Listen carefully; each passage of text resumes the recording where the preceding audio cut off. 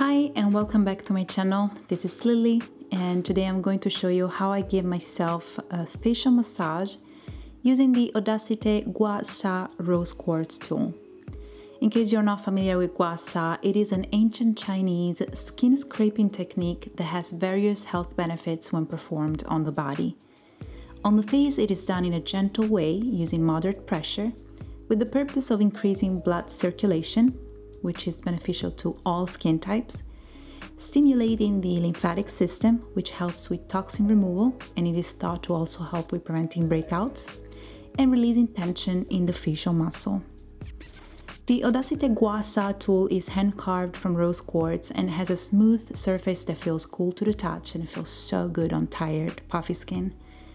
In the packaging, along with the tool, Odacité includes this little booklet that contains information about the Gua Sha tool, the benefits of Gua Sha facial massage, some tips, and a helpful diagram that shows you exactly how to perform the facial massage, how to position the tool on your face, so you can refer to it while you are learning how to properly use it.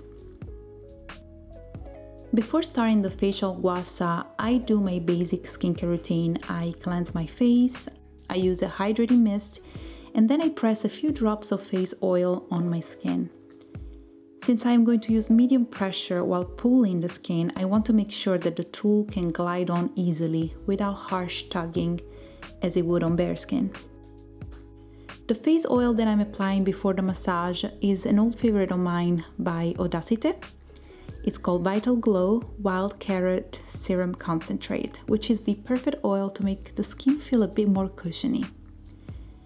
I am going to start with my neck and I'm going to lay the longer arched edge of the tool almost flat against my neck and I'm going to massage in an upward motion until the tool reaches my jawbone.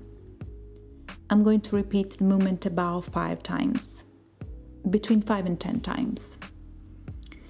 Next, I'm going to use the small concave edge that gives the tool this heart-like shape and I'm going to scrape the center part of my neck going upwards.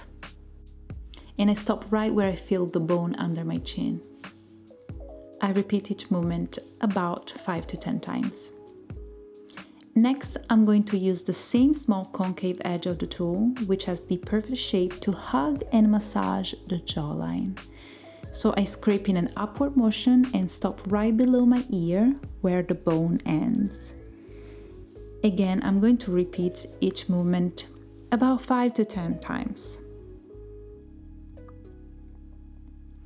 Then I'm going to do some strokes from my chin to my ear, covering the entire bottom side of my face using the flat edge of the Gua tool and then I'm going to move a little above that area and I'm going to do 5 to 10 strokes using the small concave edge to hug my cheekbone and scrape towards the temple.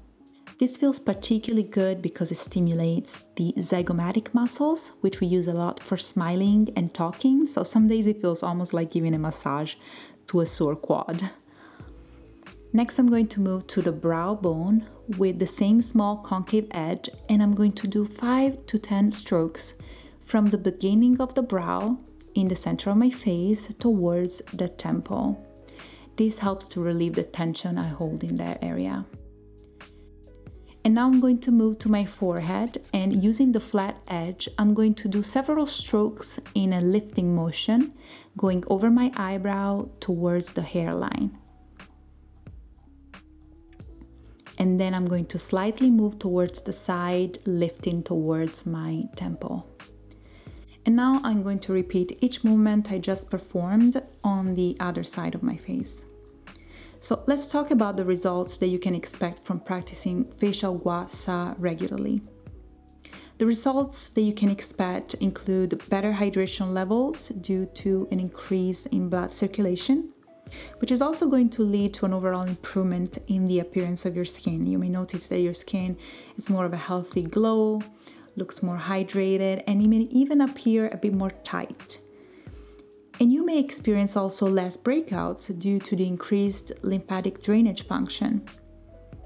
I find that it helps tremendously with reducing puffiness in my face, which is something that I'm particularly conscious about, so I try to do it almost every morning. This of course is going to work best if you have a solid skincare routine and use products that suit your skin's needs. So this concludes my routine. I hope that you found it helpful. Please make sure to leave a comment below if you have any questions. And check out the info box below the video for direct links to the tool and the product I used. If you enjoyed this video, please make sure to give it a thumbs up and to subscribe to this channel for more videos like this. Thank you so much for watching and I will see you in the next one. Ciao, ciao.